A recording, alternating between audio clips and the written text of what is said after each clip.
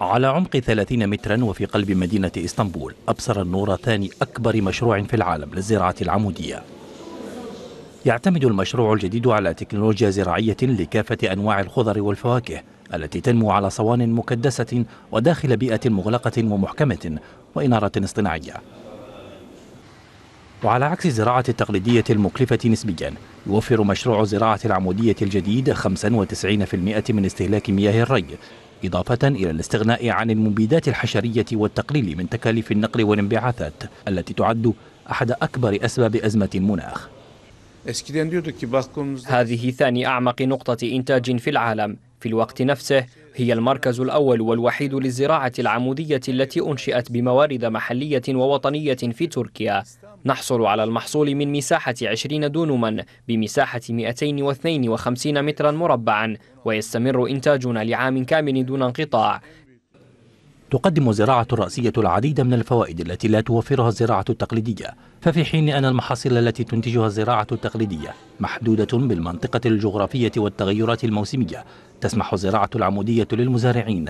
بزراعة محاصيل إقليمية أو موسمية في الداخل على مدار العام وهي ميزة كبيرة. الهدف منها تنمية منتجات ذات قيمة مضافة عالية بشكل مستمر وبأقل التكاليف وأخف الأضرار البيئية. نقوم أولا بتنقية المياه الرئيسية وجعلها قريبة من المياه النقية ثم نعطي النبات جميع العناصر الغذائية اللازمة للنبات من خلال هذه المياه. نحن فقط نحاكي الشمس والأرض ونوفر حرارة وضوءا كافيين بالآلات.